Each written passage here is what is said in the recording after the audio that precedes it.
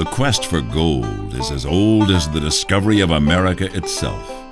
Early Spanish explorers traveled over thousands of miles of unknown oceans and territory, hoping to discover lands that were bursting, full of gold. Long before our European ancestors discovered the New World, Native American Indians were already aware of gold and its unique properties, but used it mostly for jewelry instead of valuing it as currency. In 1528, the Spanish governor of Florida, Panfilo de Narvaez, discovered traces of gold among the natives. When he asked about its origins, the Indians said it came from an area far to the north called Appalachian. Immediately, Narvaez organized an expedition and set out in search of this land. After stumbling upon a village of the Appalachians in northern Florida, the expedition was abandoned after gold was not found there.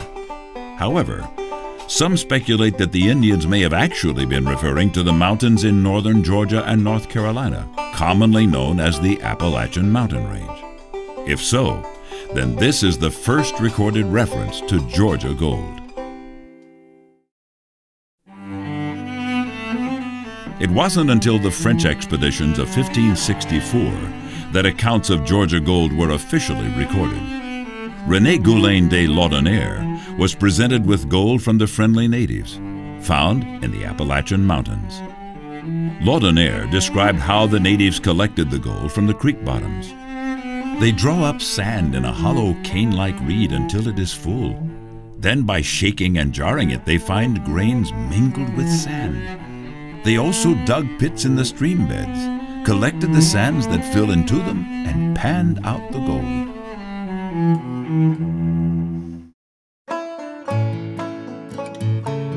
No one is certain when the first discovery of gold was made by the settlers in Georgia.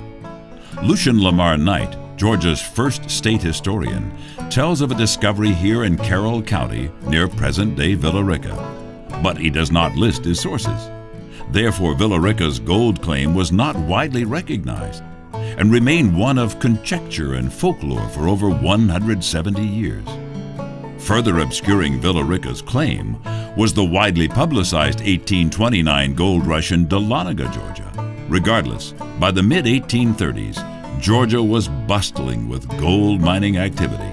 In fact, more than 500 working gold mines have been documented in Georgia during this time period making it one of the more prolific producers of the precious metal in the nation. This southern gold rush, the first in American history, lasted well into the 1840s. The region in Georgia, stretching from Rabun County through the city of Dahlonega, southward through Cherokee County and into Paulding and Carroll County before ending in Alabama, would become known as the Dahlonega or Georgia Gold Belt. Throughout the mid 1800s, it was one of the richest gold formations ever found in the continental United States. Gold is relatively scarce in the earth, but it occurs in many different kinds of rocks and in many different geological environments. Through several geological processes, the random gold particles become concentrated into larger deposits. These concentrated lode deposits are the primary target for gold miners and there are several theories as to how they got there. One theory is that rainwater seeped down into the hot magma of the earth and became superheated water that dissolved the metals in the surrounding rocks.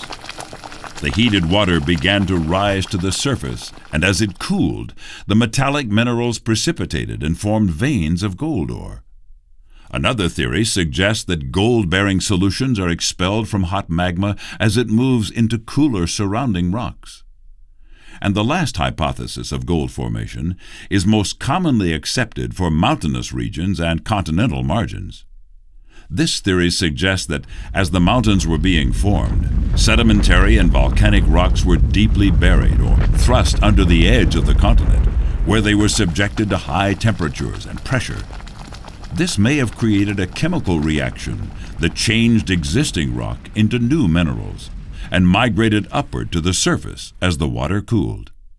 Of the three theories, this last one is most likely to have created the gold here in Georgia, and specifically Villa Rica, This is because Villa Rica sits on a seismic fault line, and evidence of the Earth's plates shifting and overlapping can be found at the summit of Pine Mountain later in your tour.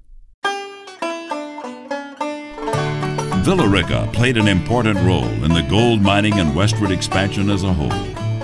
The land on which the city was established was originally ceded by the Creeks in 1825 in a treaty by William McIntosh.